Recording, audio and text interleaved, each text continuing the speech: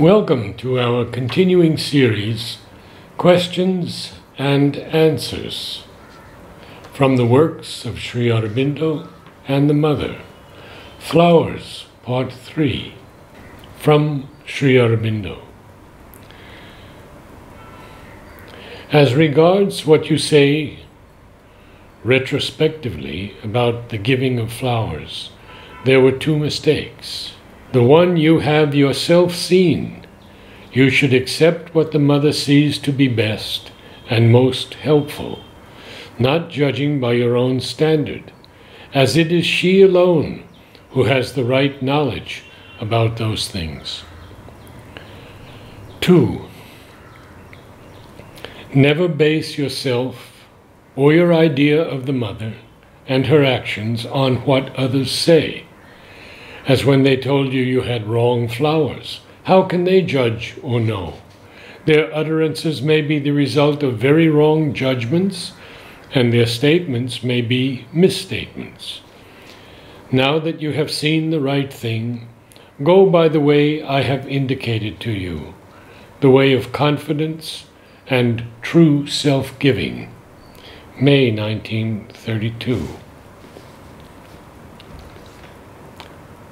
Flowers indicate a blossoming in the consciousness, sometimes with special reference to the psychic or the psychicized vital, mental, and physical consciousness.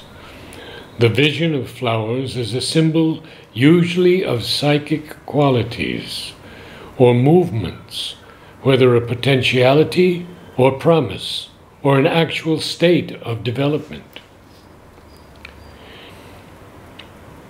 It is usually when the psychic is active that this seeing of flowers becomes abundant. The flowers indicate always an opening, usually psychic, in some part of the consciousness. The flowers are the symbols of psychic movements. The sun is the divine consciousness. It is the awakening of the psychic consciousness and its activity under the divine influence. Red flowers would ordinarily indicate an opening of the consciousness either in the physical or some part of the vital, according to the shade. In a vision, the correspondent saw a luminous sun sending forth a multitude of flowers. The opening of the lotuses means, I suppose, the opening of the true vital and physical consciousness, in which the spiritual being, the swan, can manifest with all the consequences of that opening. The lotus must represent, owing to its numerous petals, the thousand petaled lotus above the head, which is the seat of the higher consciousness, above the thinking intelligence. The vision may mean the opening of the consciousness there, and in it, the adoration of the divine. A lotus usually indicates an opening into the spiritual the white and red symbols of the Mother and the incarnating divine. The white lotus is the symbol of the Mother's consciousness.